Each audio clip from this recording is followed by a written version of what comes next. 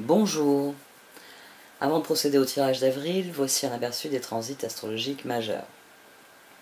Il est probable que j'arrête les tirages quotidiens euh, dès la semaine prochaine, parce que la masse de travail est bien trop importante pour ce que j'en retire, et ça m'empêche de développer d'autres projets. Bon, ça, on verra les jours prochains. Un très grand merci à tous pour euh, toutes vos marques de soutien. Vous pouvez mettre un pouce bleu, partager mon travail sur les réseaux, faire un commentaire.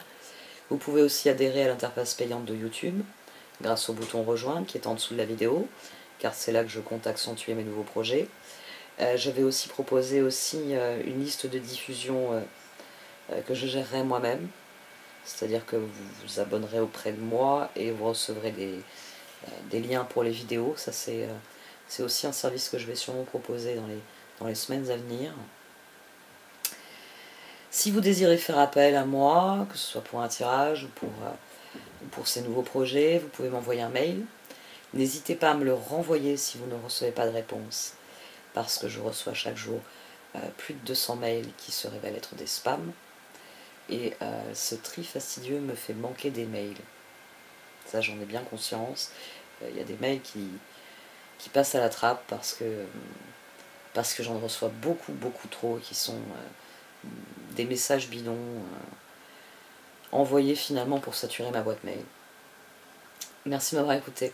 Passons au tirage. Voici donc le tirage Chosen pour ce mois d'avril. Ami Verseau. Du sein de la sagesse des royaumes gâchés sont sortis le Seigneur des mots et le cartographe du destin, qui viennent souligner que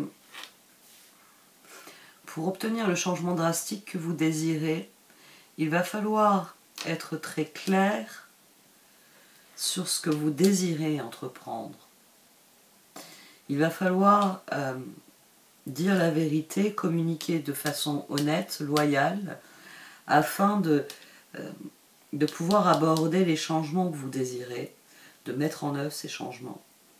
On a un tirage ici qui est clairement de relation c'est pas normalement c'est pas un tirage de relation mais euh, ici je suis obligée de considérer une dynamique uniquement relationnelle. C'est parce que on démarre avec un 6 de coupe que j'ai couvert de cartes et surtout au dos j'avais les amants. Et que je termine avec un 6 de pentacle alors qu'ici nous avons un 3 de pentacle Vous avez une excellente chose dans ce tirage. D'abord des arcanes majeures extrêmement fortes, extrêmement bénéfiques, et trois as. On a l'as de pentacle, l'as de coupe et l'as d'épée. Tout va dépendre de vos décisions. Tout va dépendre peut-être plus spécifiquement de vos prises de parole, de vos prises de position. Le Seigneur des mots.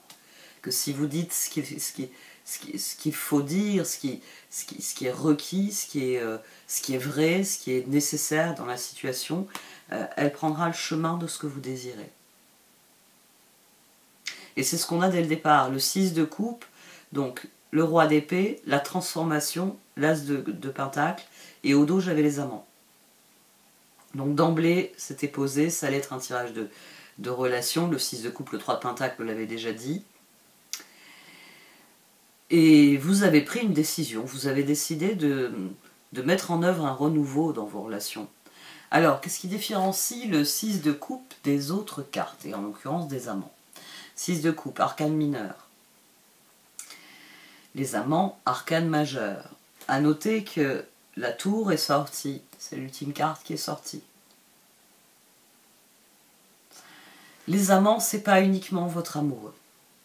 Surtout pas c'est votre relation à l'autre. Est-ce que vous êtes capable d'être honnête avec l'autre? Est-ce que vous êtes capable d'être loyal? Est-ce que euh, vous faites confiance à l'autre sur sa capacité à être honnête et loyal envers vous? Est-ce que, dans vos relations, globalement, toutes vos relations, de la plus proche au plus lointaine, est-ce que vous êtes réellement dans une dynamique d'amant? C'est-à-dire que vous êtes honnête, loyal face aux personnes que vous rencontrez, que vous côtoyez. Être honnête et loyal, ça signifie que quand vous pensez quelque chose, vous le dites honnêtement, et vous faites toujours ce que vous dites, pas le contraire de ce que vous avez dit. C'est tout simplement être aligné avec soi-même, être réellement authentique. Donc vous êtes loyal dans la relation. L'autre sait qui vous êtes, sait à quoi s'en tenir. Donc euh, c'est une relation basée sur l'honnêteté et l'amour inconditionnel. Ta différence, loin de me léser, m'enrichit. Nous apportons chacun euh, nos, points de, convergence comme nos points de dissemblance. Et nous avons donc la capacité à créer ensemble les amants. La différence avec un 6 de coupe, dans un 6 de coupe, ce sont toutes nos âmes sœurs.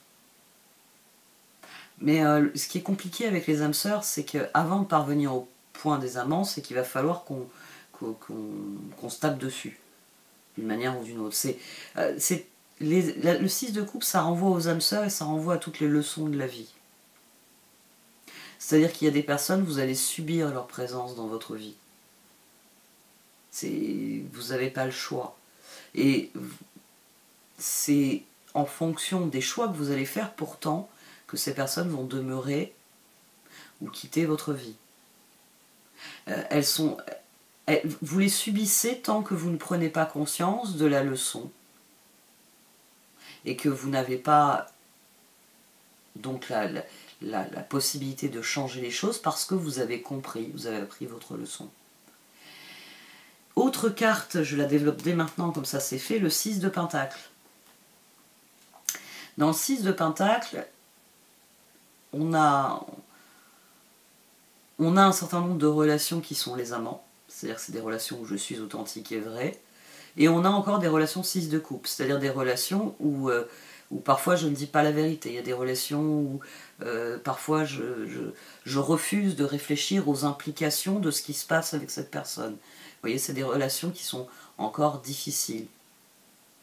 Ça ne veut pas forcément dire qu'elles sont douloureuses, mais c'est une relation qui est difficile, parce qu'il y a des choses que je ne peux pas dire à cette personne, il y a des points sur lesquels je ne peux pas faire confiance à cette personne, etc. etc.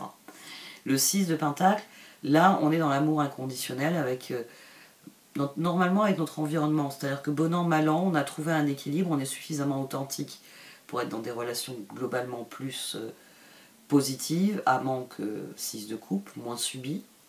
Et euh, il y a aussi la notion de générosité, de donner de soi. Et là, j'en reparlerai quand je parlerai du 3 de Pentacle, de la collaboration.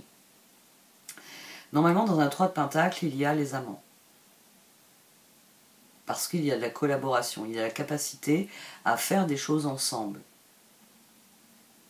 Après, vous pouvez très bien collaborer de manière honnête et loyale avec quelqu'un, sans avoir, on va dire, une dimension euh, La, principale différence entre le 3 de Pentacle et les amants, c'est la connexion du cœur. Vous pouvez avoir du 3 de Pentacle parce que vous faites bien votre boulot et vous avez, beaucoup de chance, c'est que dans votre service, euh, tout le monde fait bien son boulot mais ça, ne va pas plus loin. Dans les amants, il y a tout de même l'idée d'une postérité. Il y a tout de même l'idée que ce que nous faisons ensemble, nous allons l'offrir à d'autres. On en revient au 6 de Pentacle. Bon, là c'était une mise au point sur les archétypes pour que vous compreniez bien de quoi je parle. Vous, ce que vous avez décidé, c'est de transformer la dynamique pour que celle-ci soit euh, plus honnête, plus loyale, plus confiante.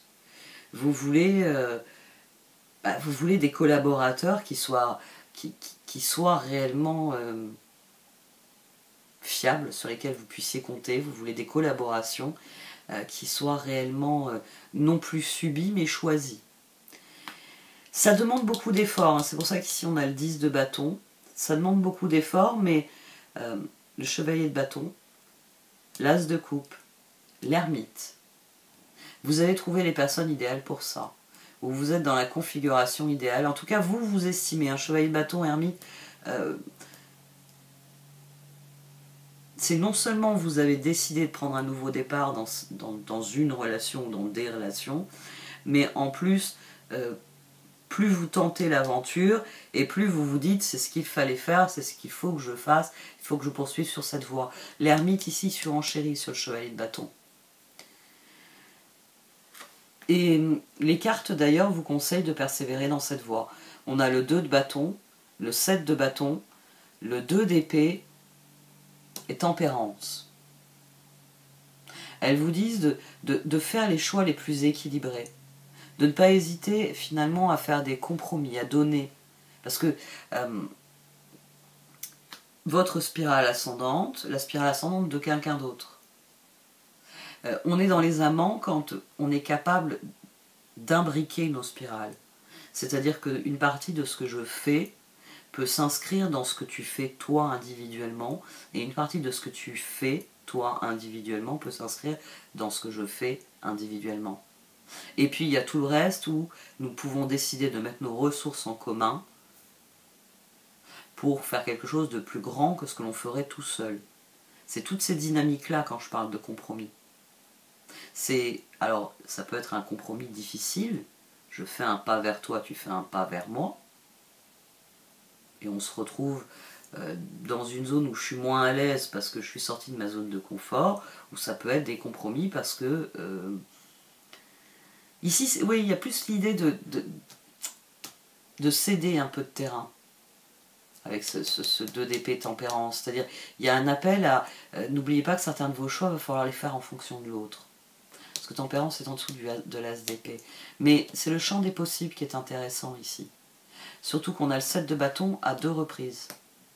Et là, c'est les possibilités que vous offre la situation. Et ces possibilités, elles sont à votre portée. C'est vos choix. C'est l'équilibre de vos choix.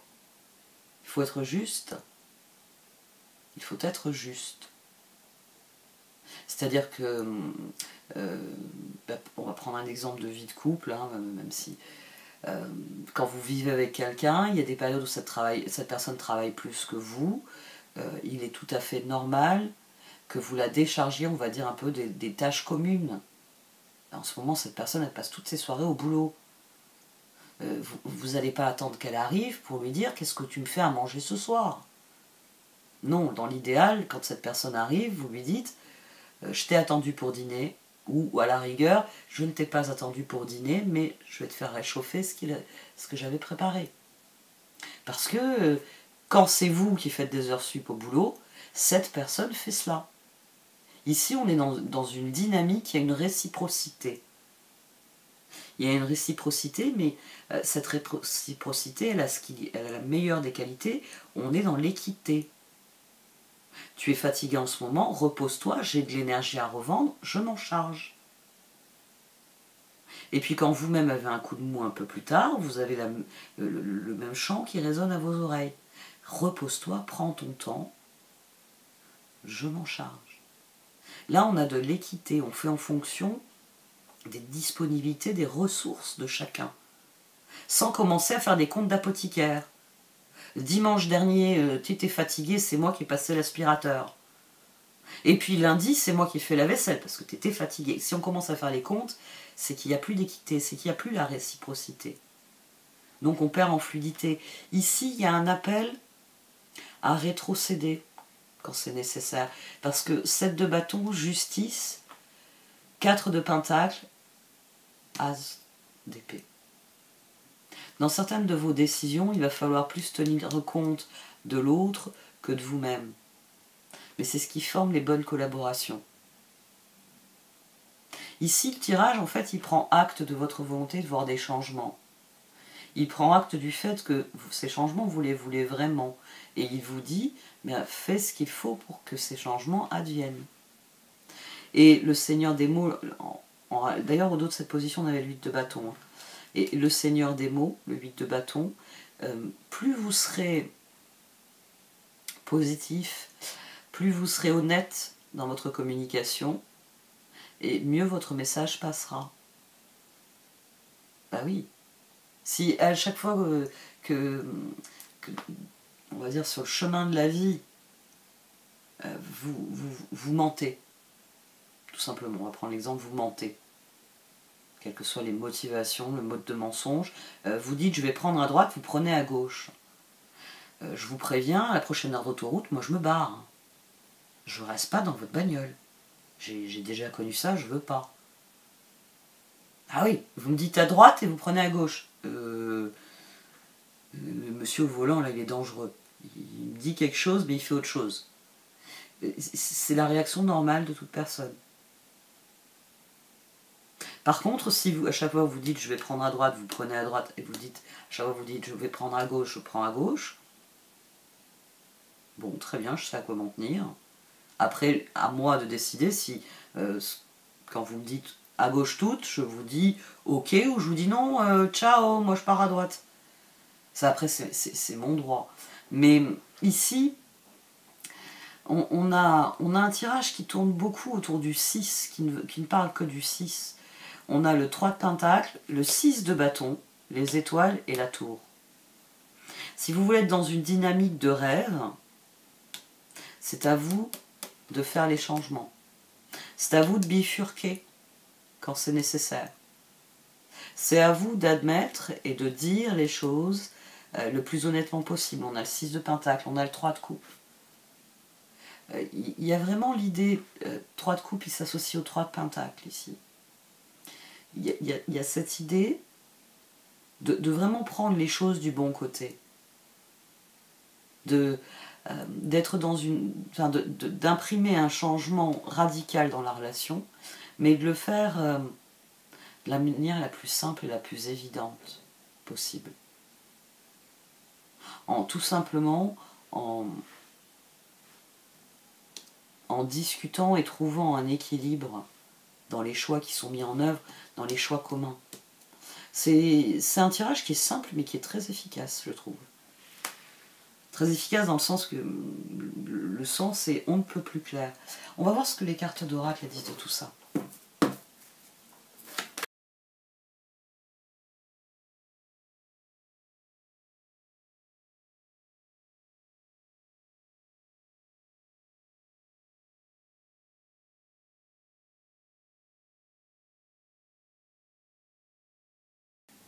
Les cartes d'oracle confirment que vous avez décidé d'opérer une transformation. Vous voulez voir, voir s'opérer un changement, un changement qui aille dans la bonne direction, dans le rétablissement d'un équilibre. Mais vous avez du mal à, à accepter une proposition ou à proposer quelque chose. Chevalier de bâton, as de coupe. Vous, savez peut-être à qui vous voulez euh, proposer de, de, de s'allier, de, collaborer ou de, de développer quelque chose, mais, il est aussi possible que vous ne sachiez pas en fait, que vous ayez une difficulté à vraiment établir où se trouve euh, comment vous positionnez finalement, euh, les gups, comment vous positionnez. Mais c'est la première chose que vous devez comprendre. Et 2DP tempérance, plus vous vous positionnerez en fonction de, des choix qui vous ressemblent, qui sont ce que vous êtes, et plus ce qui va, ce qui va, ce qui va s'implanter là dans votre vie euh, vous sera bénéfique sur le long terme. Mais d'abord, il faut admettre certaines choses que vous n'admettez pas. Il est fort possible qu'il y ait des aspects de la situation que vous refusez d'accepter, des réalités que vous ne voulez pas voir, des vérités que vous ne voulez pas entendre. Pourtant, à partir du moment où vous le ferez, euh, vous pourrez changer le comportement. Et c'est ça qui est requis ici. C'est un changement de comportement. Vous abordez cette situation plein de bonne volonté, ça c'est indéniable, mais vous avez du mal à vous positionner. Vous, êtes passif sur certains points alors qu'il faudrait être plus actif. Ou vous trouvez qu'il n'y a pas assez Peut-être que vous, trouvez que l'autre n'en fait pas assez. Mais euh, c'est pas ainsi que les choses fonctionneront. Ça vous, il, s'agit de réimprimer un mouvement joyeux de collaboration. C'est ça le schéma de rupture. C'est imprimer un, ouais, un champ. revoir la façon de fonctionner ensemble. Et pour cela, euh, il va falloir que vous soyez plus honnête, plus honnête sur ce que sont vos choix, plus honnête sur ce que, vous êtes, ce que vous, ce que vous ressentez peut-être aussi.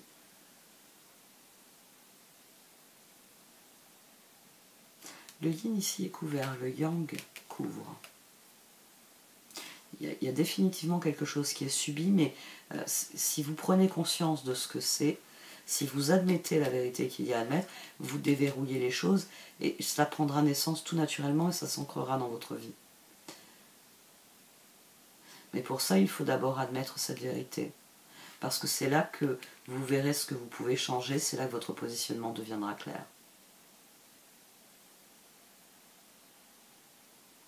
Il y, a quelque chose concernant cet équilibre que vous ne voyez pas.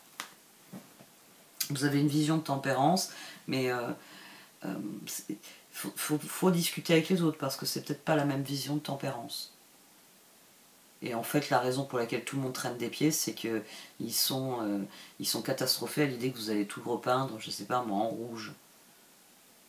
Alors que tout le monde sait que le rouge, c'est une couleur qui est très très énervante. Alors tout le monde traîne des pieds parce que personne ne trouve le courage de vous dire on veut pas que tu peignes tout ça en rouge. On préférerait voter, tous se mettre d'accord sur une couleur plus consensuelle et moins désagréable. Euh, là c'est un exemple, hein, comme toujours, hein. c'est un exemple pour pas appuyer sur les boutons. Il, est possible que vous ayez roi d'épée. Eh oui, roi d'épée. Il est possible que vous ayez décidé beaucoup beaucoup de choses sans forcément tenir compte que euh, c'est pas parce que vous, vous aimez travailler entre 6h et 10h le matin toutes les personnes qui collaborent avec vous sont au top à ces heures-là. Moi déjà, je vous le dis, euh, c'est des heures où... déjà, normalement, il ne faut pas m'adresser la parole. J'aime bien être seule ces heures-là. Euh, et vous comptez me mettre au boulot? Rêve lui. voyez, il euh, y, a des choses ici que vous ne... Il y a des vérités que vous refusez d'entendre. Et, c'est seulement à partir du moment où vous accepterez que l'autre est différent, que l'autre a donc euh, des besoins, des envies différentes, que vous pourrez trouver un terrain d'entente. Comment je concilie, euh, bah, par exemple, le fait que moi je suis un, je suis, un coq et toi tu es un oiseau de nuit. Voilà. C'est tout, simplement ça. Ouais, la guérison, elle viendra de ça. Hein et elle permettra de prendre des décisions efficaces. Bon, cette fois j'arrête. Merci de m'avoir écouté, vous pouvez liker, commenter ou partager cette vidéo. Au revoir.